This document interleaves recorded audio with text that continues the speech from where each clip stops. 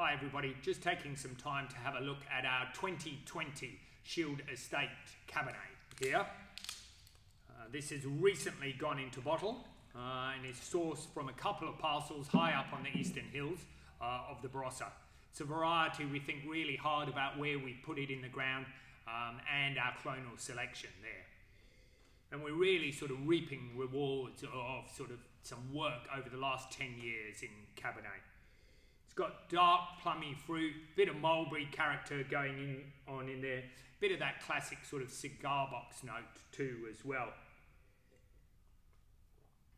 On the mouth, those are joined by a little hint of aniseed and, and menthol in, in there as well. Um, but even for a variety like Cabernet, I think this southern end of the Barossa is giving you this very fine tannin structure on the end, pinning the wine in, uh, but ensuring it's still relatively approachable at this stage. We're really happy with the result. We hope you enjoy drinking it. Cheers.